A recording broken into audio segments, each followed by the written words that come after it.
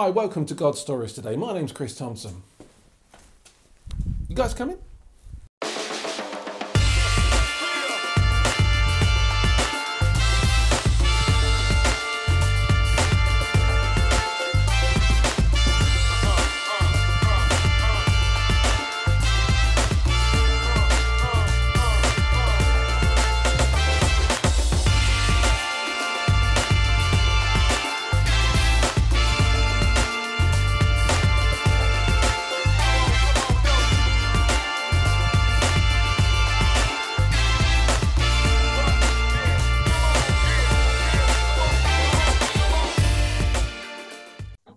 Welcome to God Stories today. I'm really thrilled to have Bishop Martyn Snow in, um, I was going to say in the studio today, but he is in a sense. We're doing this interview via Zoom, um, as most things are um, at the moment during COVID. Um, but I just can't thank Bishop Martyn Snow enough for his time. Um, it's, a, it's a wonderful thing here because you're an evangelist.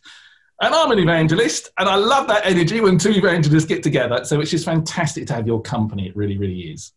Real pleasure, Chris. No, great to be with you. Thank you for inviting me to be a part of this and uh, looking forward to our conversation today.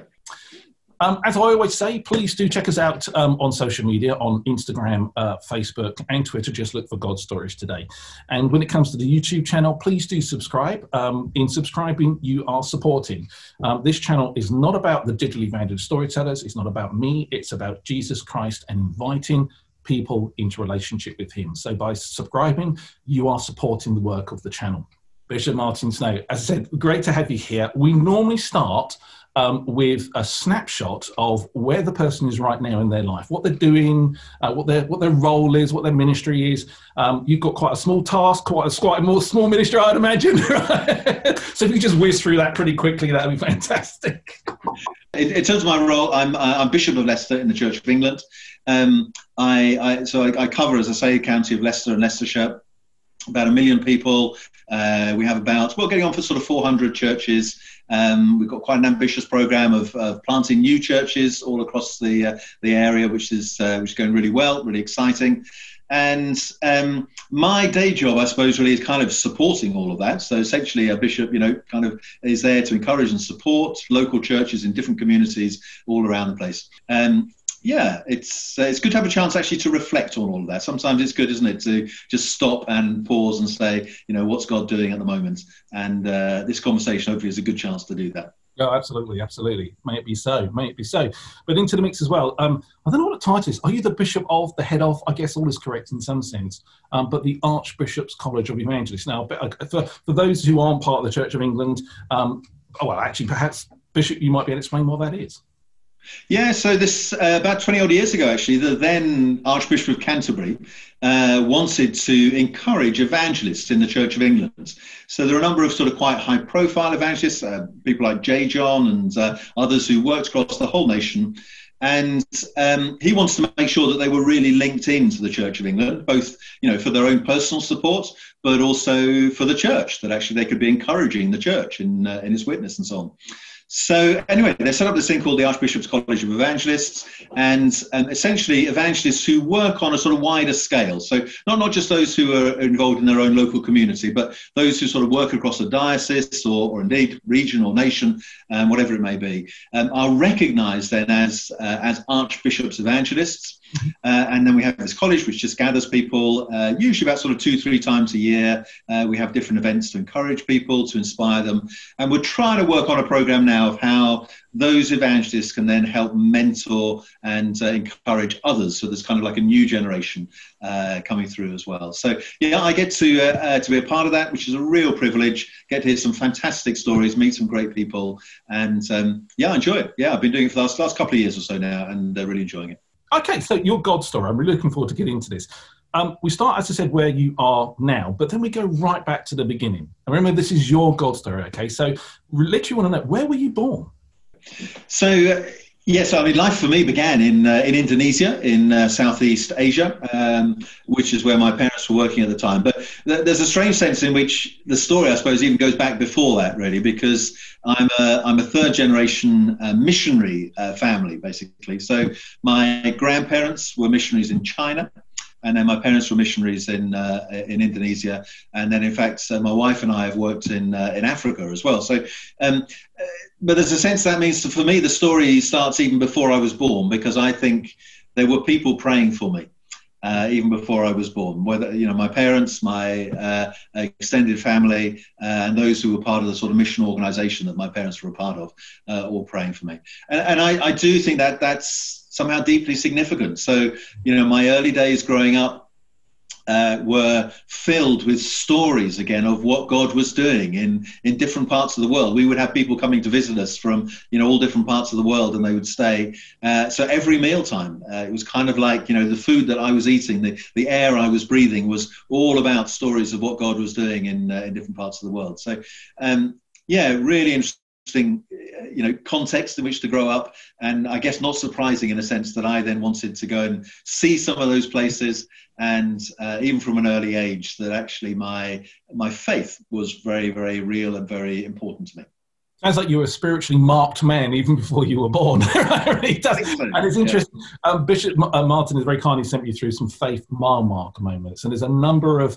it would seem moments here where a neighbor has really, really influenced him, been really, really powerful. But there's also a story here of um, an aunt who um, I got the impression was unbeknown to him praying for him. And, and that sort of therefore seems to be quite a constant thing even before he was born.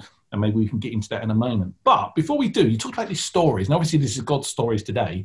And I am super fascinated, fascinated, as you might imagine, having been called to use the power of story for evangelism, which is what the conference is always going to be about. Can you remember any of the stories? I know that's a big ask because you, you know, you're like, you know, zero. can, can you remember any of the stories? I mean, even if they were like retold to you later on. Mm. Well, yeah, it's. Um, I mean, so, some of them, um, you know, as say, different parts of the world. So churches in very different contexts and very different sorts of work that people were involved in. But my, um, so my grandfather was one of the first.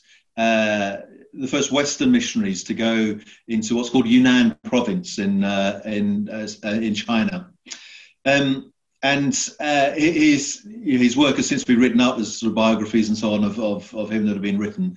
Um, and he became quite well known. So often when people would come and stay with us, uh, they would want to talk about him because you know they knew that you know my mother was his daughter and uh, uh, that she'd grown up in China with him and you know that that sort of thing. So so there was a lot of lot of talk about that and the, and um, uh, and the church in China in particular.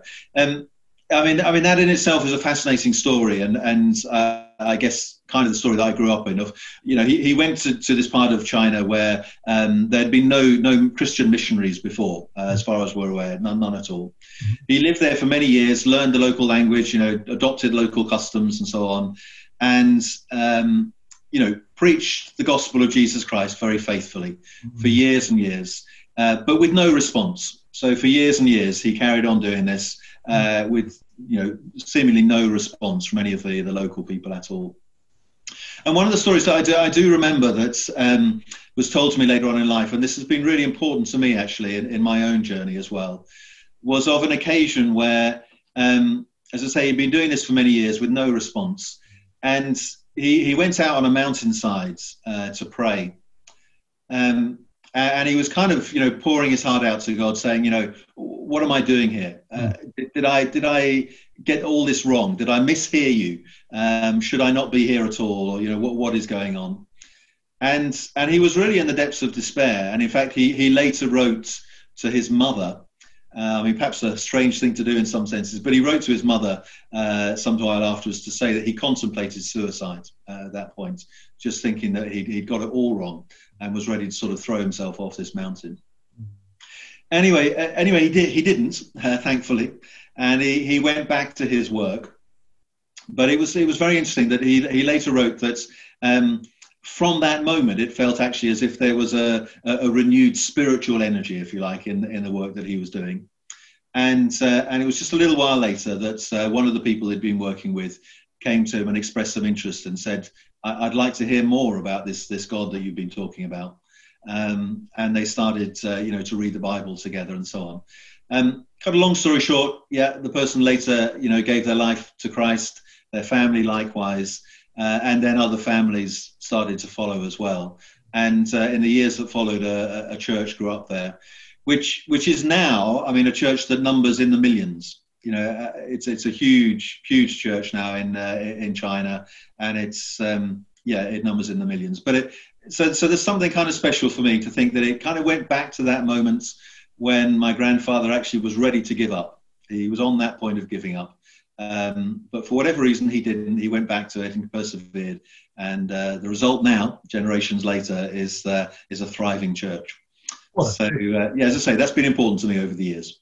Not half, my word. What a lineage. I mean, it also speaks, I guess, into the notion of um, what is evangelism in terms of what it's like on the ground when you're trying to share the good news of Jesus Christ. This the best news that there's ever been, basically, you know, and you're put into a very tough situation, and then you know you start to sort of think, crumbs, is this actually going the way that perhaps I thought it might? Am I on the right track? Did I actually hear God right?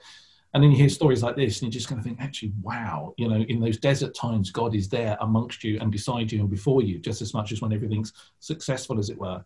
And I also think of like if I may, I'm not so much of a theologian, but when I think about St. Paul and, you know, every single church he planted, I mean, you know, I, I had a friend of mine who actually went out and did that in the footsteps of St. Paul. And yeah. he said, none of the churches seemingly are there anymore, you know.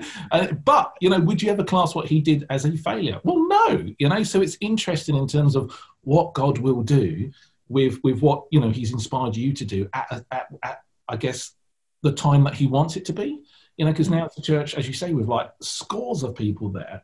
Um, whereas at the time, you know, your family member, you say it's your grandfather or something, he was like willing to, well, just about to throw himself off the side of a mountain. It's so inspiring and human and divine at the same time. Yeah, it, it is, isn't it? And, and I think, um, you know, you think back over the years since then. I mean, I mean, all that's happened in China in particular. Uh, I mean, the church has experienced huge persecution um, and, uh, yeah, challenges in in all sorts of ways. So, uh, you know, there, there's something about actually how God works behind the scenes sometimes in all these things as well. And, um, you know, and, and, our part just being one small part in all of that, I suppose. When you think of the sweep of history, yeah, each one of us is just playing a tiny little part in that. But what what an amazing privilege to be called by God to do that sort of thing mm. and play our part in, in history in, in that way. Um, I, I, think you know there's no greater privilege, as you say, in in, life than mm. uh, called to do that. But we don't always see it at the time. You know, at the time it can feel like a hard slog. Mm. It can mm. feel like um, you know really tough going. Uh, but sometimes we have to sort of zoom the camera right out, don't we, to see that bigger picture of the sweep of history, uh, which is in a sense what the Bible does, of course. That's what the Bible does, isn't it? It takes these individual stories and places them in the context of the great, great sweep of history. And we start to realize actually that, um, yeah, our, our, actions count. And, you know, just that little act of obedience to God uh, can make a difference in the whole, whole of history. Gosh, it's so inspiring. And if, if I may be so bold to sort of say, I, I offer it humbly, even though I described it as bold, the vision that God gave us for God's stories today is to record stories just like those.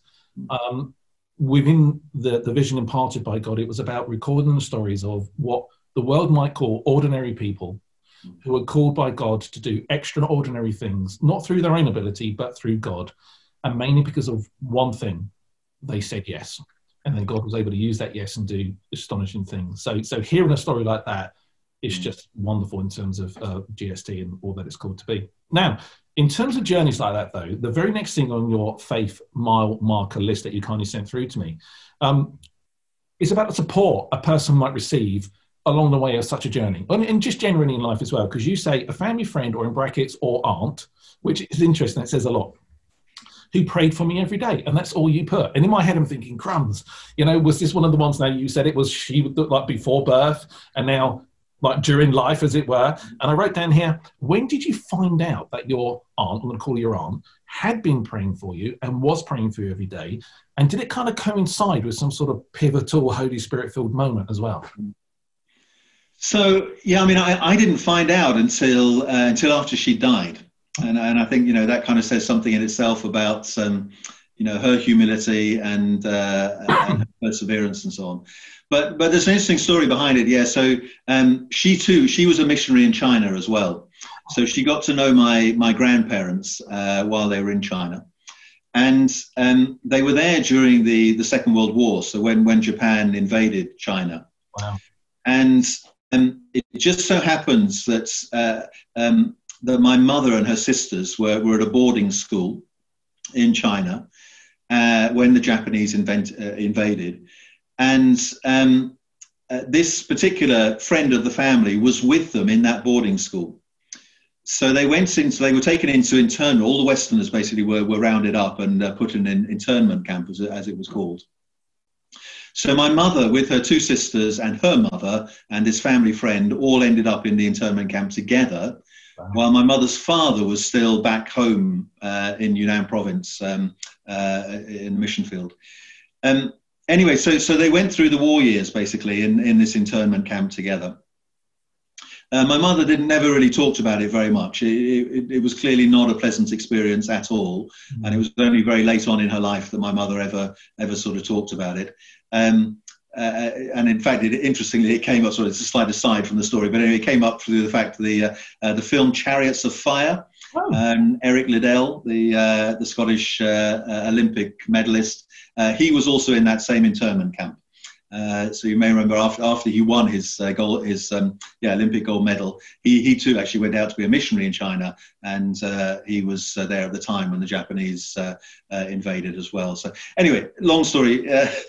very, yeah, my aunt therefore was a very close friend of the family and supported them through those those war years.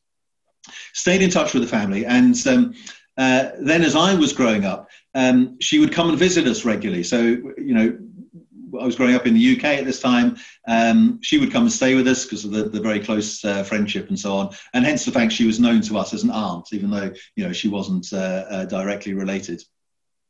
Uh, she she was an interesting character though because, um, and I say this slightly to my shame, um, my sister and brother and I, um, we, we, would always uh, laugh rather a lot when, whenever she came to stay. She was one of these people who could just talk endlessly. So almost from, from the moment she got up in the morning to, to the moment she, she slept at night, she did not stop talking. Endless flow of, of stories and uh, words and so on. And uh, I'm afraid the three of us as young children used to be in hysterics sometimes at the way she, uh, she just didn't shut up at all. Anyway, um, yeah, it wasn't until she then died um, that my mother, in talking to me about her, said, um, well, you do know that she prayed for you every day of your life, uh, from before you were born uh, to, to the day she died. She, she prayed for you every day. And I, I just remember, I suppose, at the time, not, not really knowing what to say to that. It's kind of, you know, what, what do you say to that? But just being extraordinarily humbled, I suppose, in thinking, wow, so she, uh, yeah, she cared for me so much that she prayed for me every single day. Again, not knowing necessarily. I mean, I was still, you know, very young at that stage when when she died, so she has no idea what what I've gone on to do in my life and so on. But um, nevertheless, she she prayed faithfully in that way, and uh, and I'm convinced now. I, I, certainly would not be here today had it not been for her prayers. Uh, I'm sure in all sorts of ways that that has shaped me in terms of who I am. So, yeah, importance of prayer. I mean, perhaps I mean, you've already covered it in one sense, talking about the power of prayer and so forth. But I don't know if I'm so in the zone of prayer now. I'm so sort of like inspired to pray. I'm just wondering if you might now, now that you are where you are, and looking back on your entire story, just maybe just share a few thoughts about the power of prayer and how you've seen it move, you know, th- throughout your time as an evangelist and a bishop and a minister and in your early life as well. And pick any story in any season of your life. I'm just in the zone of prayer now. Um, you think about your inspirational aunt. And I bet she does know, if you don't mind me saying. That might be theologically correct, but I want to say I bet she does know. indeed, indeed. No, I'm sure that's that's right. Um, oh, there's so, I mean, so many different stories I, I could choose, I suppose. But I, I guess... Um, I, I, suppose partly because of my background again as well, I, I, sometimes think about what's sometimes called the different languages of prayer. Um, so, you know, sometimes we, we can we can think that you know there's only one way to talk to God, and you know uh, everyone's got to learn this particular way of doing it or whatever. I, I, I just don't believe that at all. I, I think through my life, I've I've discovered I've learned different languages of prayer, and and it's yeah, it is. It's a bit like learning any language, I suppose. Really, you start out very with very faltering language, and you you make all sorts of mistakes, and you you say all sorts of stuff that um, you know. If you hear yourself back saying it, you think uh, that's just stupid. You know, why on earth did you say that? But isn't it just amazing? Just that sense of actually when you're with a close friend uh, or when you're with your fa- family member, it doesn't matter what you say, really. It's it's about an expression of a relationship, an expression of love, an expression of just enjoying being together, mm. uh, and that for me is is the heart of prayer. Mm. So you know, I, I, I have moments when, uh, you know, as with any friend, I just talk about whatever's on my mind, mm. whatever it might happen to be. Uh, I have moments when I'm lost for words, when actually I just don't know what to say, and I go back to that idea of, of God being able to read the, uh, you know, the sighs and the inner inner thoughts uh, within me. Um, I have moments when I love using other people's prayers. You know, the idea that some people have written down prayers that they've uh, uh, thought about really carefully and, and are like poetry. Um, I love that. So, so you know, different languages of prayer I, th- I, think are really important. But the heart of it is for every one of us just to be able to enjoy that relationship. And and I think yeah, that's what I come back to again and again. Um, don't worry about what you say. Basically, it's just about being with God and enjoying the fact that God enjoys being with you. Wonderful. Thank you so much. May that bless everyone who watches this uh, interview. What I love there is the humanness, if you like, of your story. It's very, very human, and and it, it kind of warmed me to you very much so because it's it's just full of like you know um, just amazing God moments, but also within all of that, your humanness comes through because we've had here you know three generations of um, missionaries and so forth, uh, people praying and, and, and so forth, and this amazing aunt. And, and but then I love the fact you say here in your very next faith mile marker, teenage rebellion. Church is not interesting or relevant, and uh, to none of my age. I love that. Could you talk about that? Talk about that sort of what was going on. You know, yeah. going on there.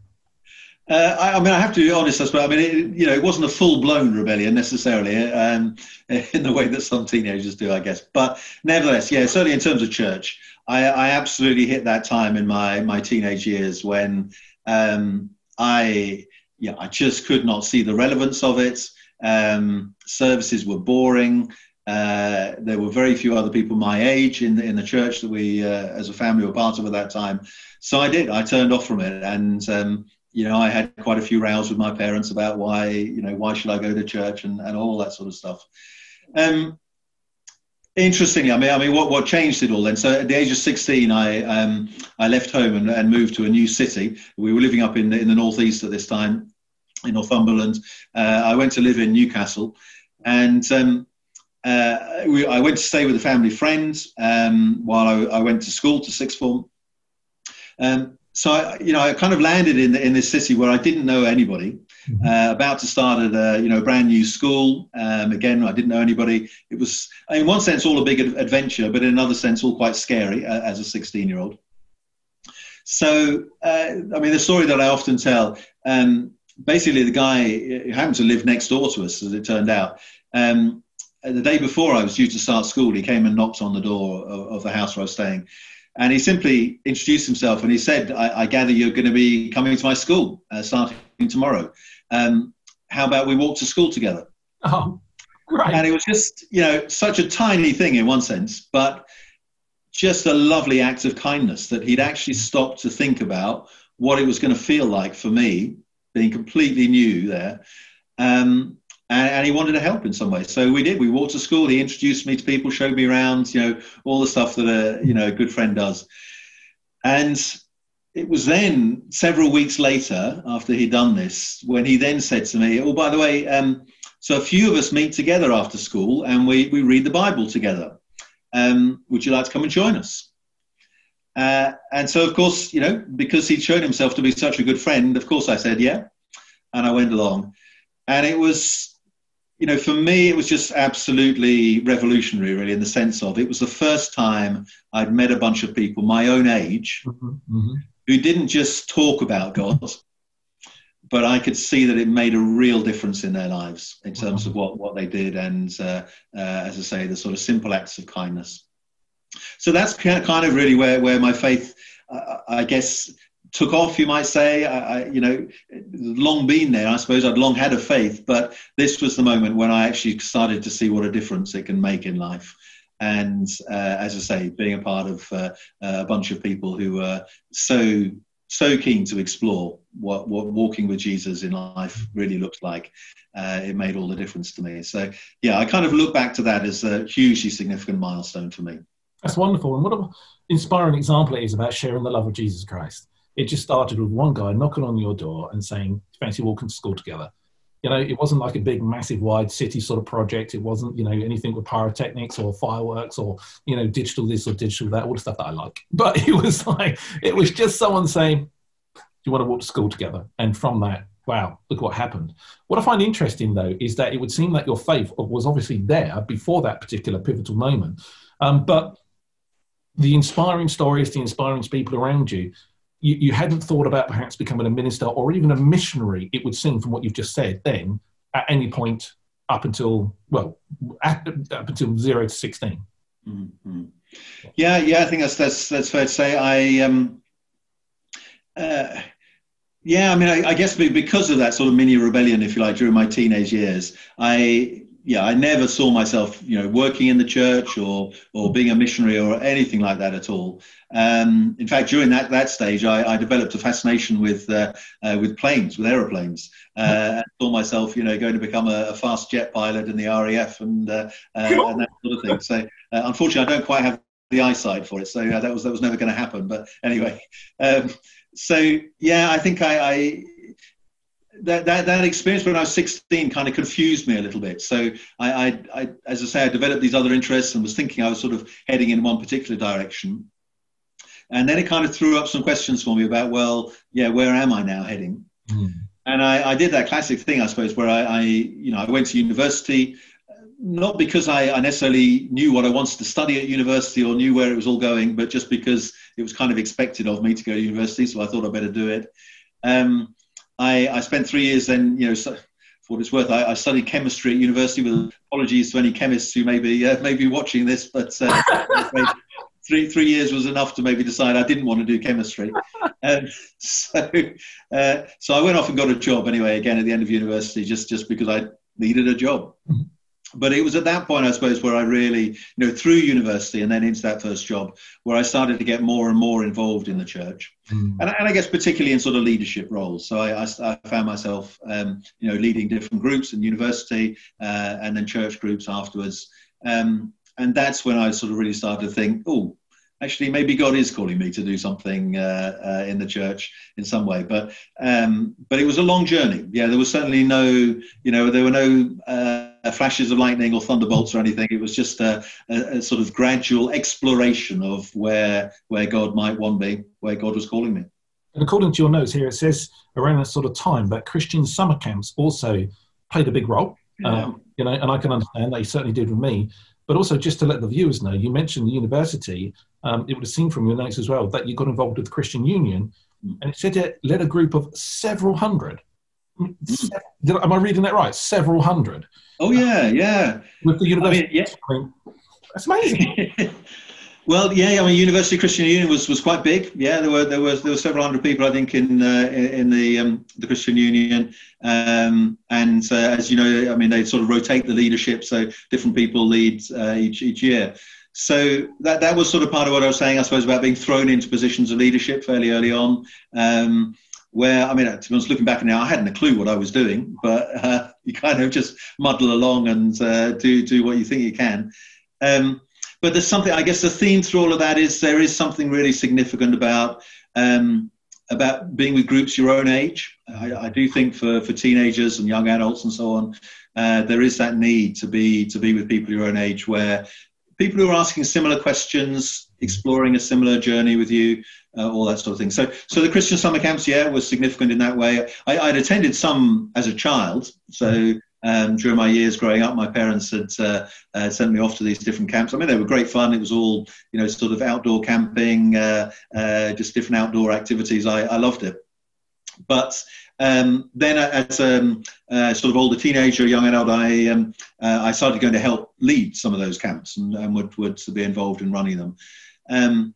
And again, you know, I mean, there's nothing better in some senses to help you grow your faith than to have uh, children or young people asking you questions. Oh yes. that, that, thing of yeah, all, all the tough questions that uh, uh, that everybody has, but that children have a way of articulating, um, which really make you stop and think. Um, so I, I, would say that was really formative for me, actually, having to think through some of those questions uh, and having people who wouldn't wouldn't let me get away with the uh, you know the sort of easy answers or anything like that, but uh, really make you think. And before we go on to the next season, um, casting your mind back, you may may not be able to recall, but were there any significant God moments at the Christian summer camps, at um, university, moments where God broke through, spoke to you, healed something, uh, revealed something to you or someone else? Any sort of God moments along the way that you might be willing to share?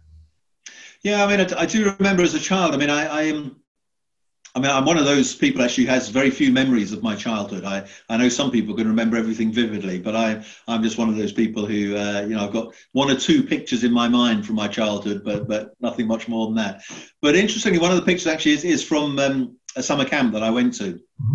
And it was in Wales, I remember, and it was, uh, it was a camp. We were all, you know, under canvas, so to speak.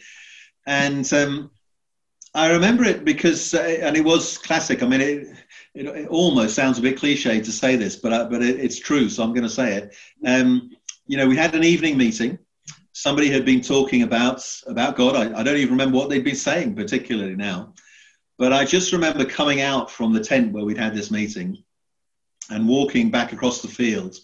Uh, and looking up, and it was one of those, you know, beautiful, clear night skies. We were in the middle of nowhere, so just stars everywhere and I remember being blown away from it. You know, just just uh, stopping, sort of in the middle of the fields, just being overawed by by this scene. And whatever the speaker had been saying, it made me at that moment sort of say, you know, God, if you're there and if you created all of this, um, then I want to know you.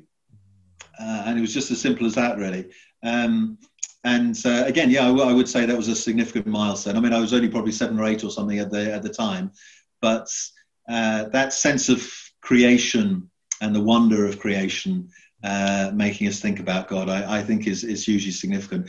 I mean, it sounds like that that the the being overwhelmed by God's creation, and with that, the magnitude of God, that Celtic sort of side of things, to that in and of itself is beautiful and enough. But I just wondered, just as a bit of a follow up question, may not have happened. I don't know. As I said, the actual experience in and of itself is just overwhelming enough. But did God, when you turned around to him and said, "Look, if you created all of this on that starry night, mm. I want to know you personally."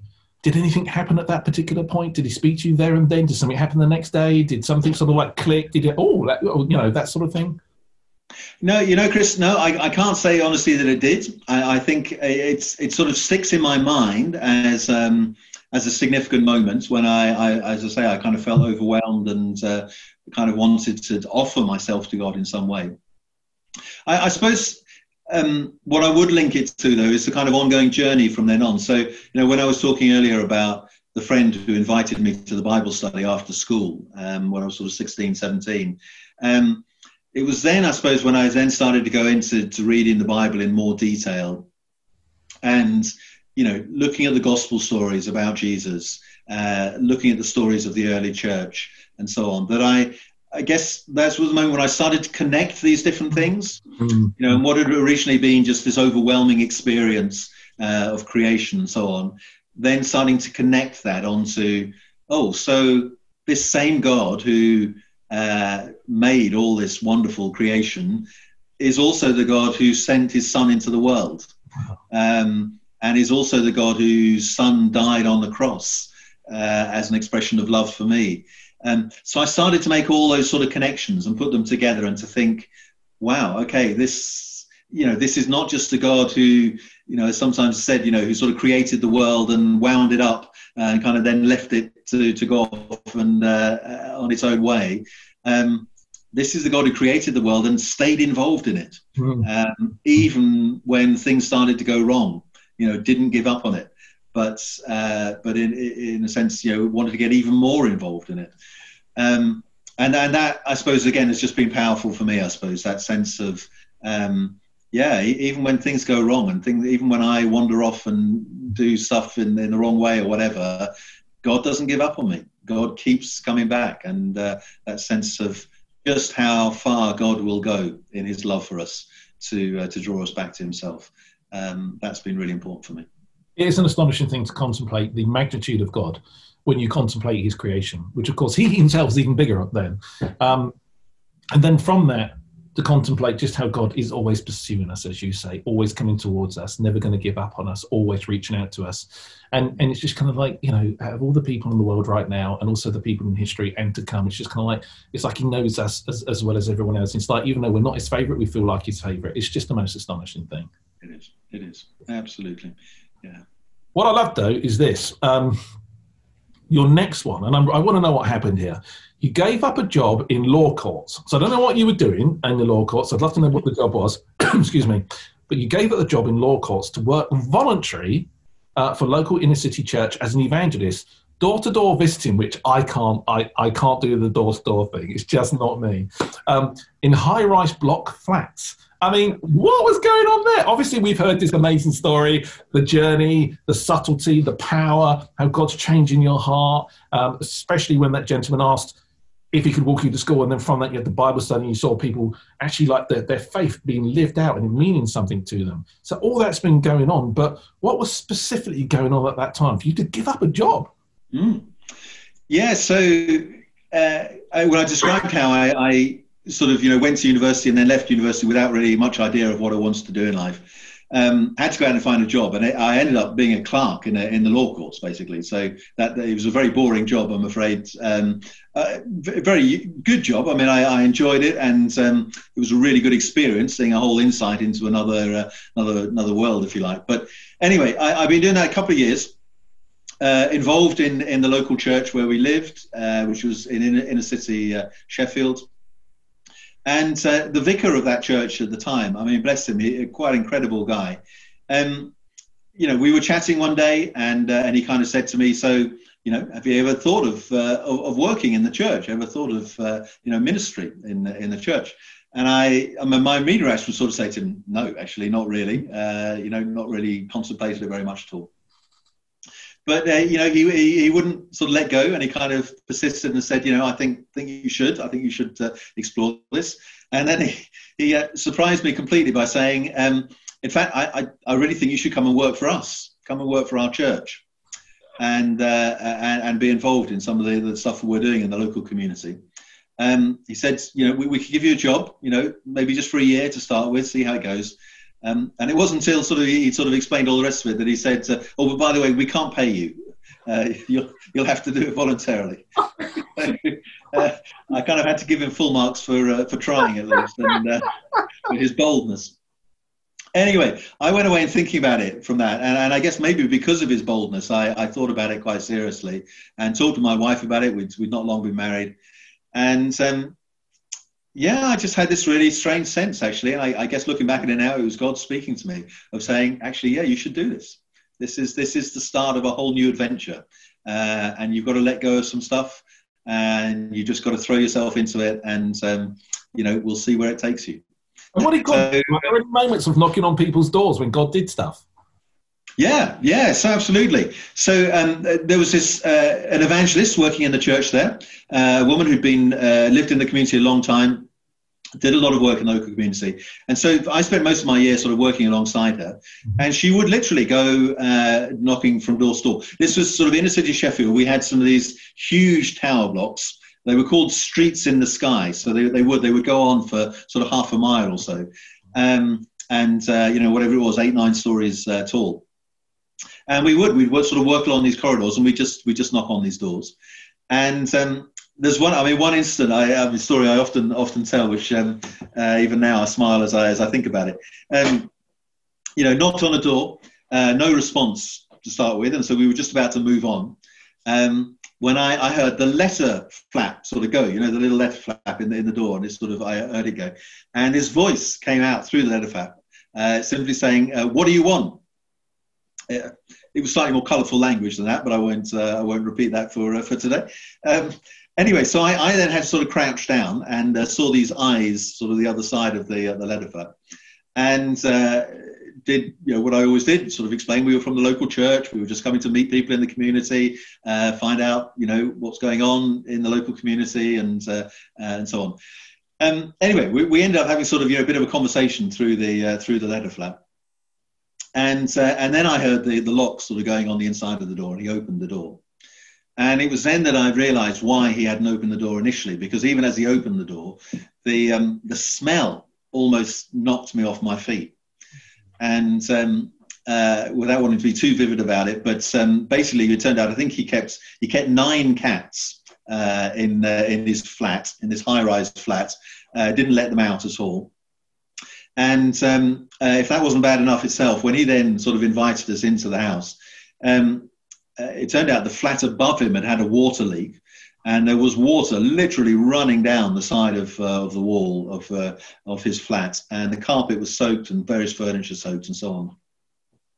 Um, anyway, I mean, it was one of those moments when I say I'd not been doing this job very long, and I kind of stood there thinking, okay, what do we do now? Um, but thankfully, this experienced evangelist that I was working with, um, you know, immediately got on the phone to some people uh, we got you know got the council around to take care of the water leak. Uh, got RSPCA around to take care of the uh, you know the cats, and uh, uh, and then got the church involved in terms of finding some new furniture and uh, and so on for him. Um, and it was a similar story again in the sense of, you know, this all then took place over several weeks as we sort of got him sorted out with new furniture, new carpets, all the rest of it. And then again, you know, the evangelist I was working with simply said to this guy, um, you know, we, we, have a little group that meets every week uh, just to talk about God a bit. Would you like to come along? Come and join us. Um, and cut a long story short, you know, he did. He came came and joined that little group, and uh, eventually, you know, became a Christian and uh, and joined the local church. And, and I often look back at that. I suppose again, it's quite quite formational for me. I mean, both the thing of you know, if we hadn't been there that day knocking on doors, you know, we never would have met him. We never would have known what, what situation he was in. Um, but then also, again, just that link around, uh, you know, the practical action, the practical care for somebody, leading on to, um, well, actually, the reason we do this is because of God's love for us. Would you like to hear more about God's love uh, and, uh, and about Jesus Christ? Um, yeah, that at its heart for me, that is what evangelism is about. Mm-hmm. Uh, uh, it's many other things as well, but at, at, its simplest form, that is what it's about. It's so inspiring. And was it around this sort of time, therefore, that God perhaps started knocking on the door to your heart re ministry and ordination in particular? Yeah. Yeah, so I, I kind of, yeah, I look back to almost that incident actually as, as kind of almost a turning point for me when I realized, almost if you like, the penny dropped and I realized actually, you know what, this is what God has called me to do and, uh, and what I wanted to spend the rest of my life doing. So, um, you know, it's cut a long story short. Yeah, I did. I started conversations about, you know, ministry in the Church of England and what that looks like. It's a long process you have to go through. But, um, yeah, I, I, look back to that instance as being really, really significant in that. And, and even today shapes my ministry. So, you know, for all that I spend a lot of my time doing all sorts of other stuff now, um, there are a few things I enjoy more than actually meeting people, whether that's in their own homes or out on the streets or you know wherever it is, and just being able to have simple conversations about God. Um, that's you know that's what energizes me. That's uh, uh, that's my vision for ministry. Um, so yeah, it's never gone away in that way. Thank you for that. Um, I want to get to Africa, if I may. Um, so you say ministry in South Yorkshire, uh, former coal mining area. That obviously was a significant sort of moment. And, and do feel free to mention any God stories um, along the way there. But you then go from Yorkshire to Africa uh, with CMS, uh, learning about uh, colonialism and cross-cultural mission. Now it's really interesting. As we talk now, um, one of the interviews I've done previously, which was with uh, a lady called Nicola Neal. She's a regional coordinator for New Wine. Um, she talks extensively about her being calling, called by God to give up everything, to give up paid employment, her and her husband, and they were quite, you know, comfortable at the time, and literally go to Africa. And what she saw out there and what God did in her heart. and even the moment when she said, there we were living in you know, like middle class England, and they were like landed on a plane. I think it was in Uganda, if I remember right. And she said the moment she landed on the tarmac, she felt like it was home. I mean, you know, the, the, the moves of God in a person's heart when when he does something like that, that kind of calling. If you're willing, perhaps you might talk about what was going on in your heart, what was going on in your relationship with God, and how He called you to, to move to Africa. And I know there's a lot of questions here in, in one. I'm just excited. what was it like? What did God do?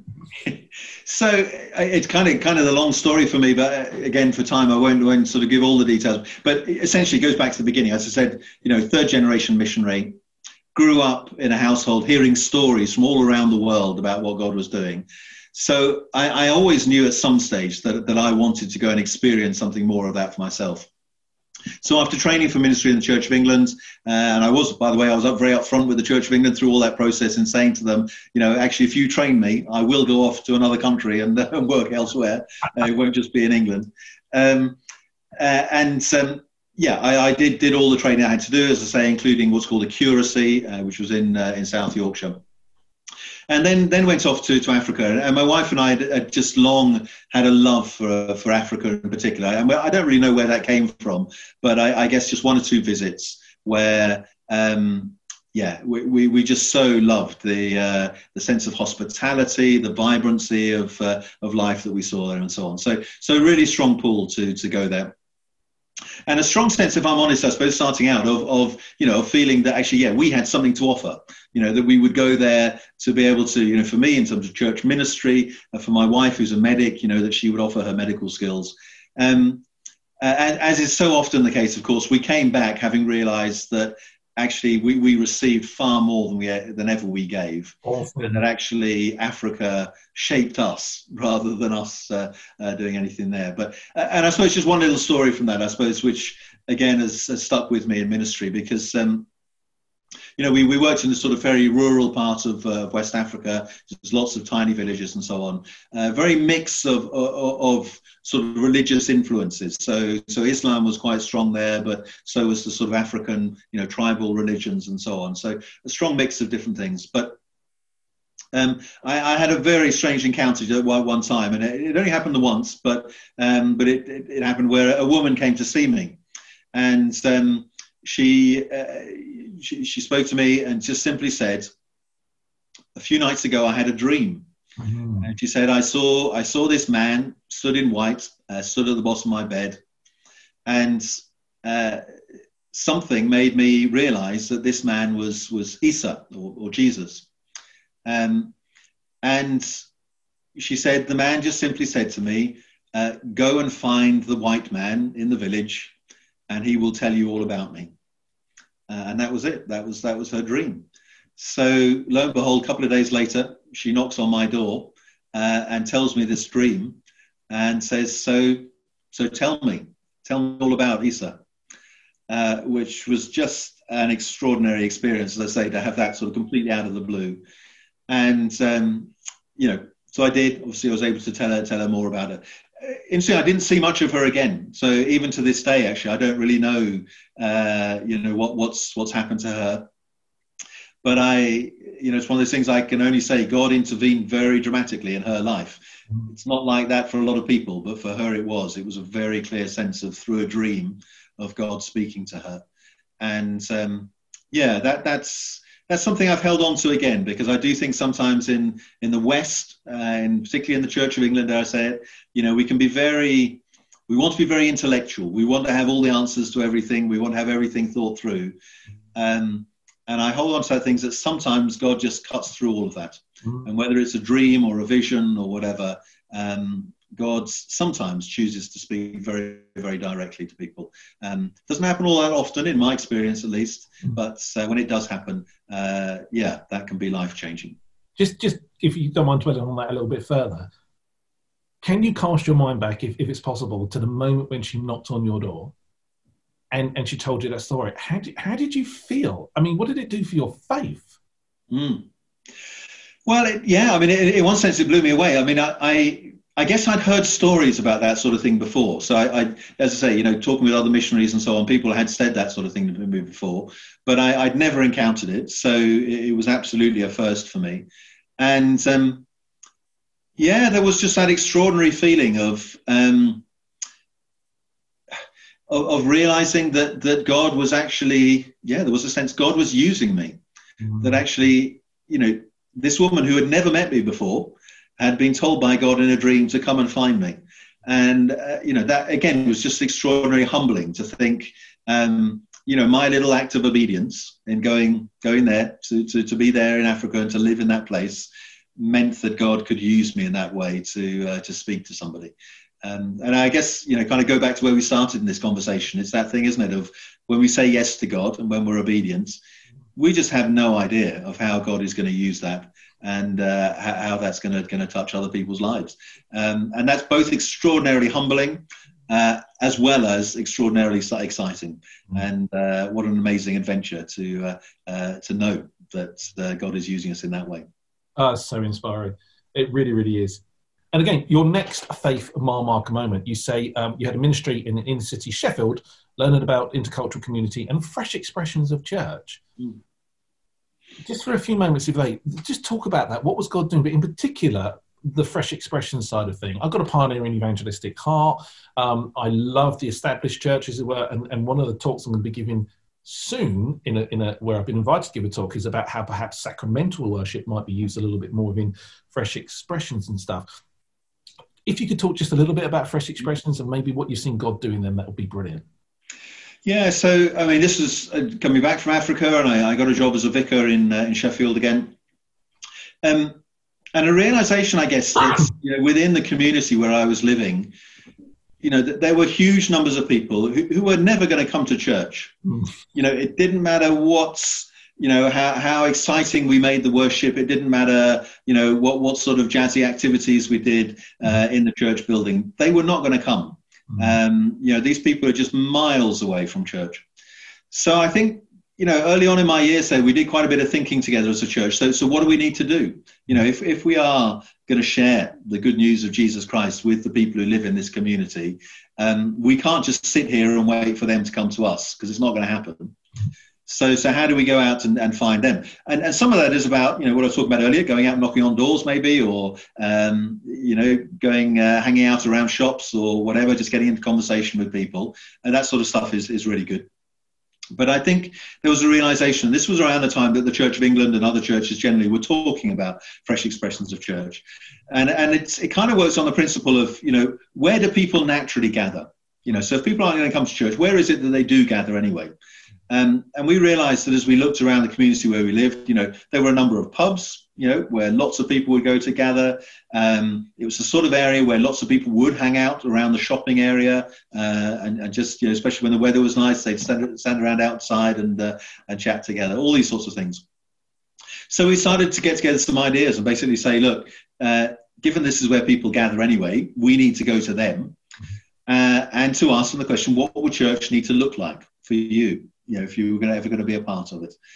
Um, and cut a long story short, yeah, we managed to do that. We, we, we set up a number of different fresh expressions of church, working with different groups of people in our, in our particular community. Um, lovely mix of people very often. So, you know, I think of one that we, we had a lot of asylum seekers and refugees who, who came to this, this particular community.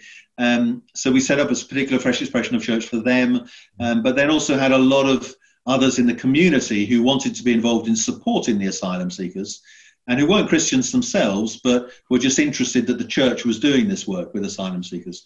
So they came and joined this uh, this fresh expression of church as well.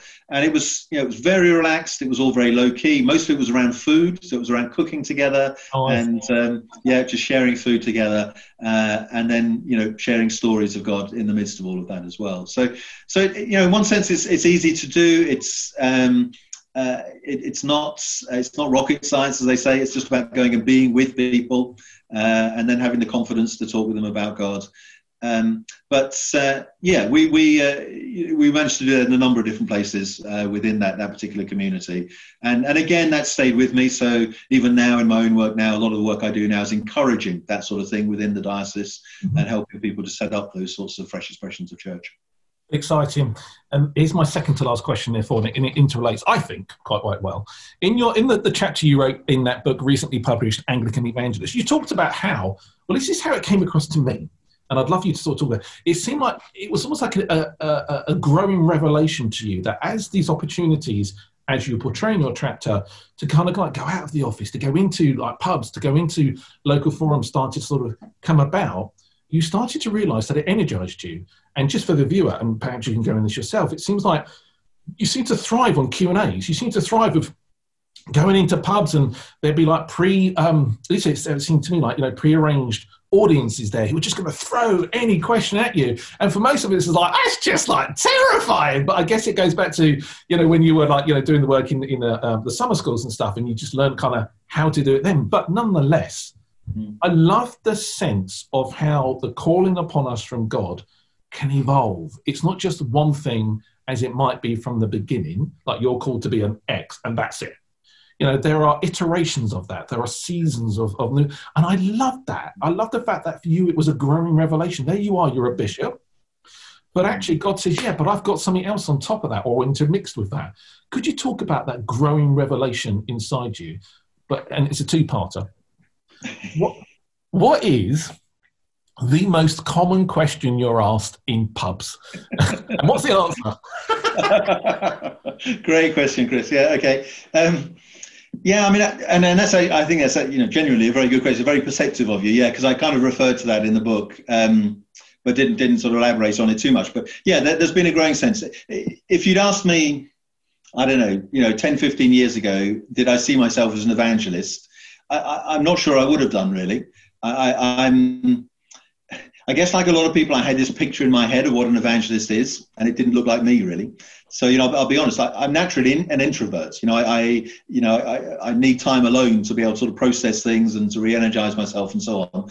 And I've always thought of evangelists. You know, you have to be extrovert. You've got to be somebody who just loves being out there with with people and so on. But I guess as as as my journey's gone on and different opportunities have come my way, I've started to see that actually. I, yeah, I, I, kind of am more of an evangelist than I realized. And it, it is things like, as you say, pubs and so on. I, I do this thing now where, or I was before lockdown at least, uh, you know, going to spend a long weekend with a particular church. And I'll say to the vicar of the church, look, um, I, would like you just to arrange loads of different activities for me. Um, the key thing is I want to be spending time with people outside of your church mm-hmm. congregation. Um, so wherever it is in the community, whether it's pubs, whether it's shopping centres, um, old people's homes, you know, whatever it may be. Um, you know, just make sure it's not lots of church services and and, that sort of thing. Um, so I do this, and, and I've I've just discovered I really love it, mm-hmm. and, and I, I do. I get energized by it. I always come away at the end of the weekend exhausted, physically exhausted, but spiritually and emotionally just really energized uh, by it. And um, you know, I realize it's not for everybody. I absolutely get that, and and it's uh, it's something that I've only gradually sort of grown into over time. But yeah, I do. I I, I think of one instant, um, you know, one place we we the vicar went in and he um, uh, sort of a couple of weeks before I arrived, and he said said to the pub landlord, he said, "Look, got the bishop coming to visit. Um, he said he wants to come and meet people. So you know, could we come and do something in the pub?" And and the vicar said, "Look, here's the idea." um, we'll put out a flyer that says, uh, "Come and ask the bishop a question, and you'll get a free pint."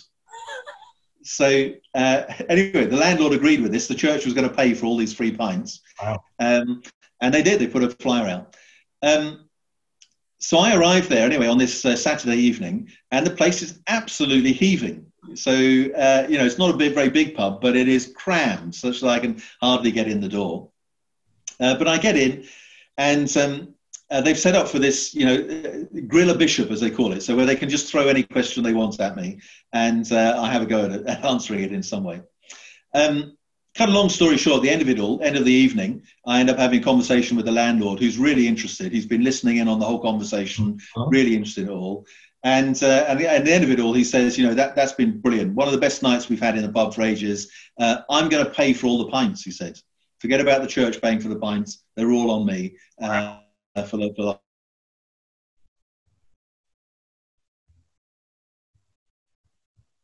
the um, they, they vary enormously from um, uh, there's usually usually you know, it starts off with lots of banter so there's all the questions about you know football or uh, whatever's going on in the news or whatever celebrity or whatever and what do i think about this and what do i think about that um, there's usually a few questions in there to try and trip me up so, so there's usually one or two people, you know, who will try and ask the sort of trick question either to get me to uh, say something really controversial or um, uh, or really offensive or, or whatever. Um, but that's that's all fine.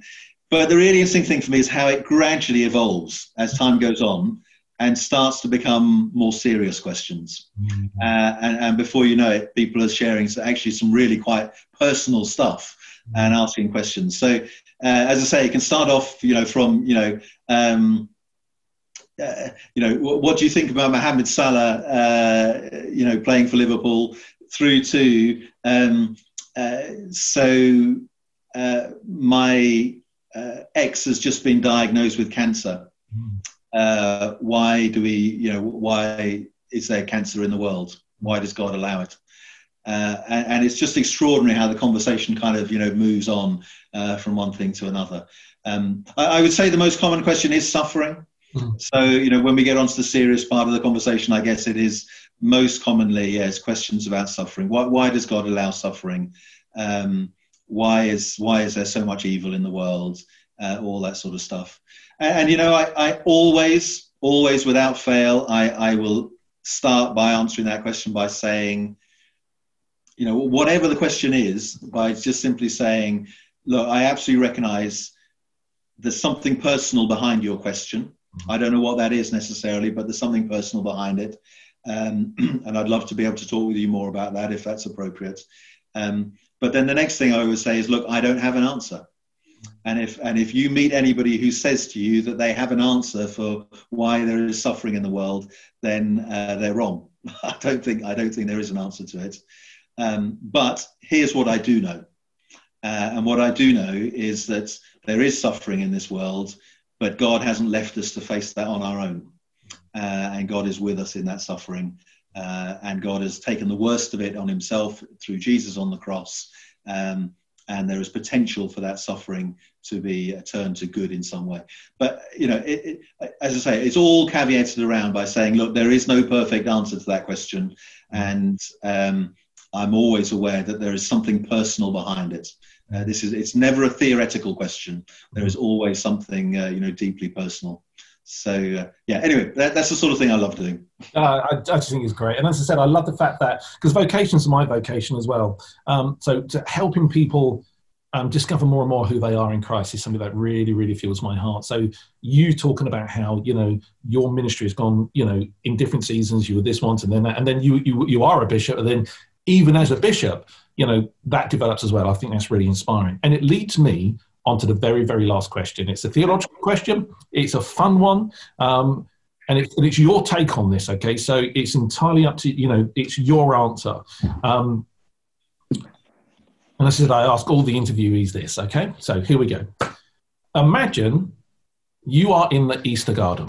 Yeah, you are literally a gardener. Jesus was mistaken as a gardener, but you are a gardener. Maybe you're raking the ground. Um, in my mind, it's a beautiful sort of like spring morning, um, bit frosty in the morning, that kind of stuff. I don't know if you've ever been to the Middle East, but um, I mean, I could live out there. It's fantastic. You are in the Easter garden, so picture yourself there.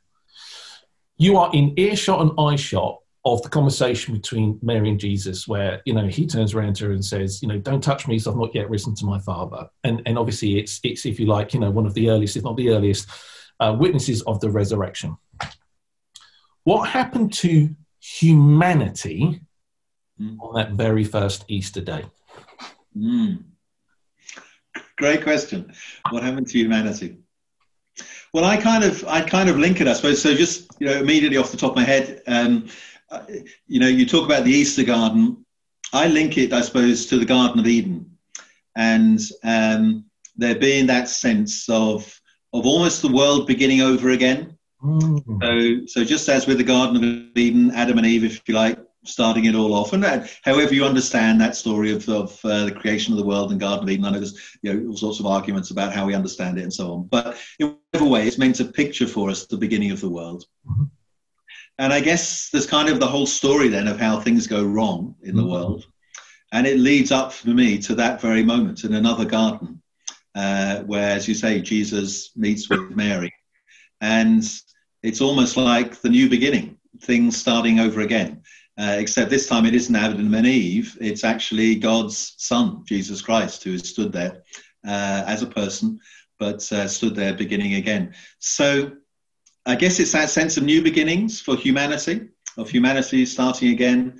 And that means both for every one of us individually, the opportunity to start over again, but also for, for the whole of creation to, to start over again. And there's a, there's a sense in which I think all of creation is, uh, is, is doing that even at the moment.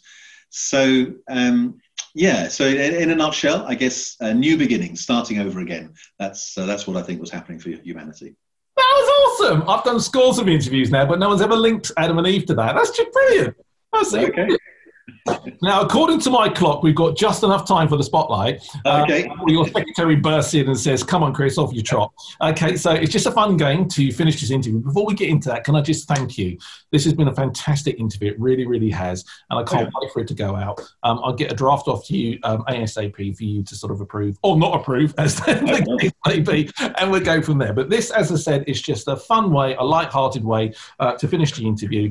And uh, what I'm after is your you know your gut reaction. You're very you know trying okay. not to think it that sort of stuff. And there's not many. There's not many.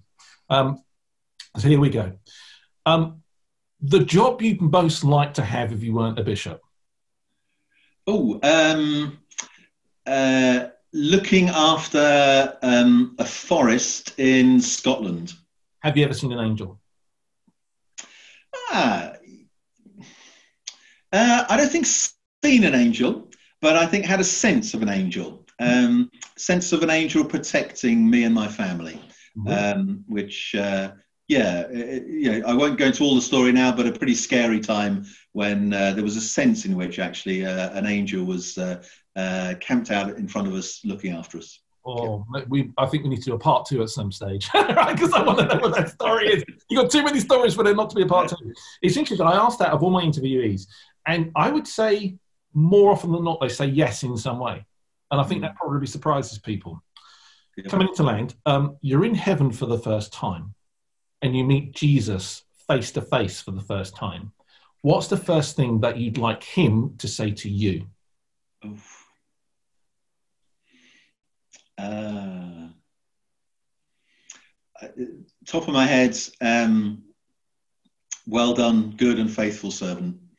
Bishop Snow, uh, Martyn Snow, this has been absolutely astonishing. It's been so rich, so full of God, and you have been so generous. You've really shared your heart, and I can't thank you enough for that. Um, and we will honour your God story for sure. Would you mind praying us out? I'd love to do that, Chris. And just a thank you to you as well for doing this. Uh, bless you for your ministry. I think this is a really, really good thing to uh, to be doing uh, these sorts of interviews. So, uh, so thank you for that. But uh, yeah, let's pray.